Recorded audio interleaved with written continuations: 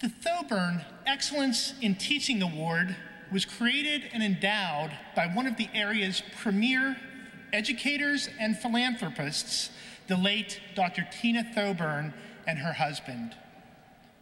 Nominations for this award are made by St. Vincent College alumni five to seven years after graduation.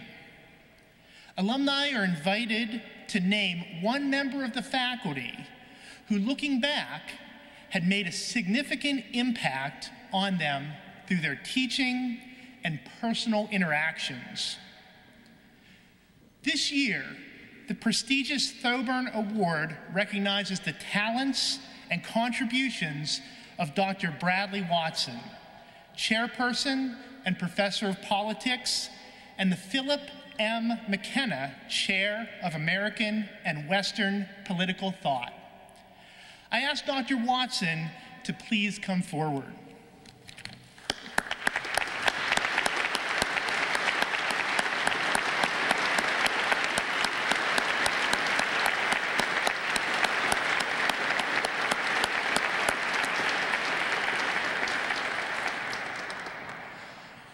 Dr. Watson earned a bachelor's degree from the University of British Columbia, a law degree from Queen's University Faculty of Law, Masters of Arts from Claremont Graduate University, Masters of Philosophy from the Institute of Philosophy of Catholic University of Louvain, and his PhD from Claremont University.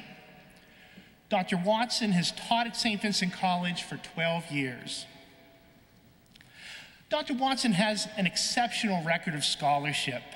He is the author of several books and dozens of articles, both in scholarly journals and some mass media outlets.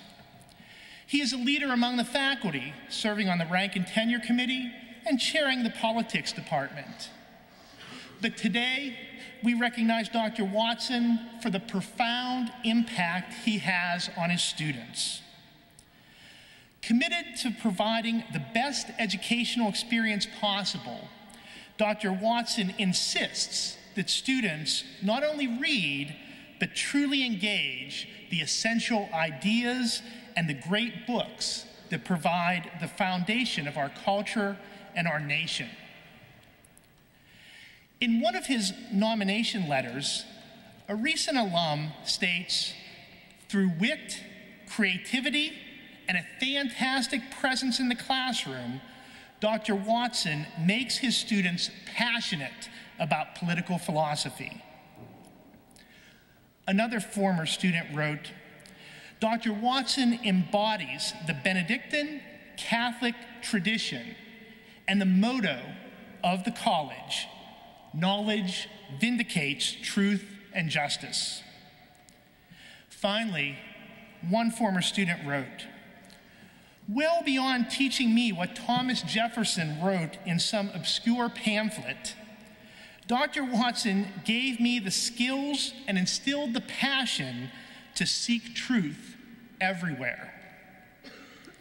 Dr. Watson, for your outstanding teaching and service to the students of St. Vincent College, it is my pleasure to present you the 2011 Thoburn Excellence in Teaching Award.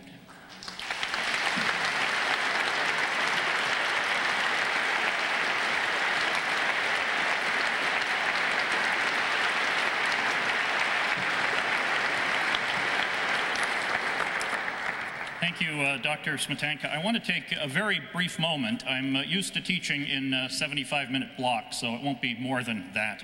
Uh, a very brief moment to offer a formal uh, word of thanks for this award, and to note that I surely don't deserve it. All I do in the classroom, all I've ever done is allow the great books of Western civilization uh, and the great political writings of the American tradition to do the teaching. I do this because each great book or great political thinker is infinitely instructive, fascinating, complex, and mysterious. Plato, Augustine, Aquinas, Locke, Jefferson, Madison, Lincoln, and others of their stature. Each is the tip of a vast iceberg of learning. Whenever a diligent student reads them, he or she recognizes that they speak directly not only to their own times, but to our times and to all time. Such a student is drawn into the conversation among the greatest minds that our civilization has produced. Calvin Coolidge, one of America's most reflective presidents, said, Great men are the ambassadors of providence, sent to reveal to their fellow men their unknown selves. They come and go, in part mystery, in part the simplest of all experience, the compelling influence of the truth. I merely serve to effect the introduction of students to these ambassadors, to present their papers, as it were. Coolidge reminds us that it's God who appoints them, and for that, as for all good things, it is to God that we owe our thanks. A teacher, Henry Adams remarked, affects eternity. He can never know where his influence stops. Well, of eternity, only God knows. But I'm more than humbled that at least a few years on, my former students, alums of this great college, look back on my teaching with fondness, and more importantly, they think they've learned something significant. But in the end, it's those writers of the great books, those political philosophers and statesmen, who deserve this award more than I. For I remain a student of them as much as my own students are. Once you walk with Socrates along the city walls of Athens, or reflect with Lincoln on just what he claimed our fathers brought forth fourscore and seven years ago, you can't stop thinking. I'm in continuing ed and always will be, and I hope that my students will be too. I offer hearty congratulations to all the students here today and to their families. Thank you.